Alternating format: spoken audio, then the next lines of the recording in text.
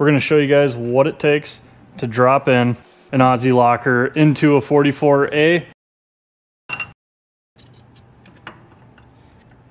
There we go. She's gutted. On our website, we sell the Aussie locker, which is going to replace our open carrier and give us a true locker.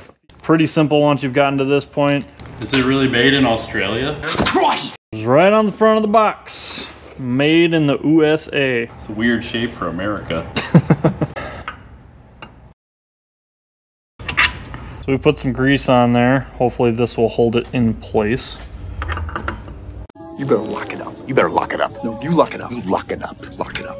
Lock it up. We got our diff skid on, we got our lube locker in there, we got our new Aussie uh, ratchet locker in there. Uh, I believe this one's ready for our, our Moab trip. Give me a call if you guys have any questions. Thanks for hanging out.